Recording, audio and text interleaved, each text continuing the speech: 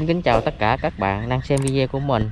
Nhà này buổi chiều khoảng tầm 3 giờ mấy Mình đang có mặt tại ở ở đây là ruộng ở phía xa nhà ở quê mình đó các bạn. Đó, quay cho các bạn xem. Đây những cánh đồng ở quê với mình. Đây có một con cái đường nước nhỏ các bạn. Ừ. Đó, xa xa là những có nhà cũng cũng có nhà người ta trong đó các bạn. Đó. mà ở đây là những cánh đồng ở đây lúa ừ, ra bông bông hết các bạn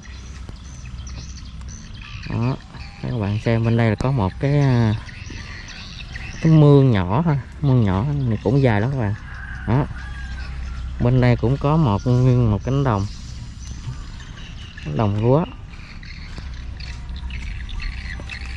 Nó có buổi chiều mình quay à, cho các bạn xem ở quê mình. Rồi bắt đầu mình, bắt đầu mình lấy lai ca và mình bay các bạn. Bay nguyên một cánh đồng, chứ mình đi là đi không nổi đâu các bạn bay lai cam cho các bạn xem.